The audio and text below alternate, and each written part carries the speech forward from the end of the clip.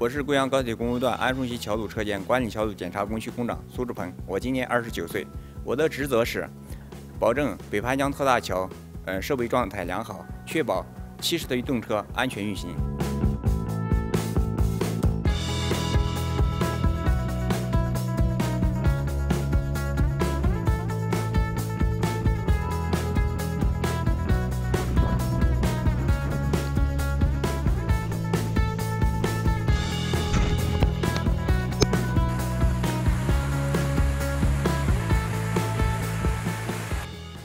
以前这个地方是一个陡坡，它非常的陡，呃，下来的时候非常不方便。我们的这个北盘江特大桥是一个月检查一次，检查呃是很频繁的，所以说为了我们上下方便，我们呃就是工区自己修了一个检查小道。修这个小道的时候也是相相当的呃困难。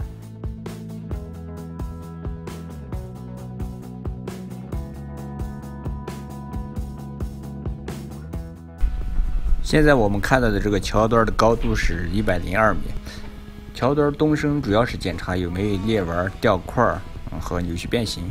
所有的桥墩我们都是一个月检查一次。这个桥墩检查一次大概需要一个多小时，边爬边检查，爬到顶上很累也很危险，但是我们有相应的安全措施。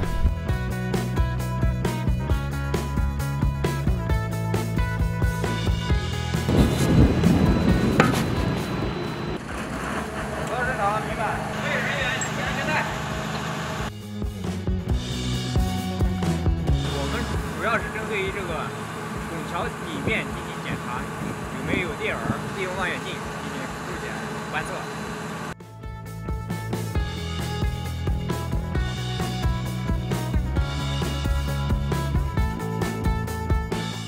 我手中这个小锤主要是确认拱底有没有掉块，就是利用呃小锤进行确进行确认敲击。